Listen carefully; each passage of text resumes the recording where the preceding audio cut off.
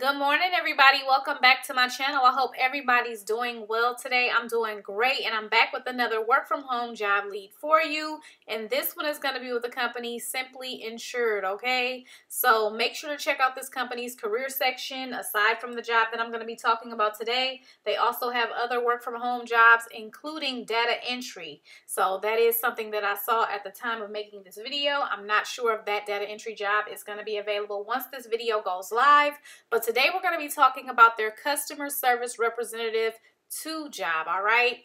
And this job right here is coming with some great perks, a decent pay of $17 an hour, and a $2,500 annual bonus. You're going to get benefits. You're also going to be working from home, of course, and I'm not sure if they have any, you know, state hiring restrictions, all right? So we're going to get into all the details of this job. Make sure to hit the like button, subscribe to the channel, share the video, and also leave a comment, all right? So let's go ahead and get into the details.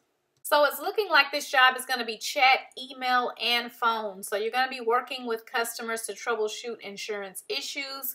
You're going to help them with issues like enrollment and billing and handle employee questions about coverage and eligibility. So it's saying that you're going to work chat plus email and it's going to be 40% inbound calls plus 40% email and then 20% of the time is going to be focused on the backlog, training, and miscellaneous items.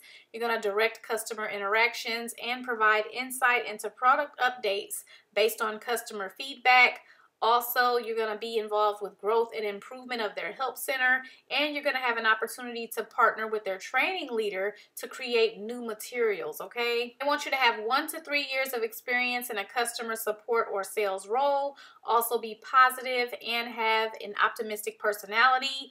They also would like for you to have a passion for helping people, especially when it comes to their health and they would also like you to have problem solving skills. This job has a super quick application, probably going to take you like one minute to fill out the application.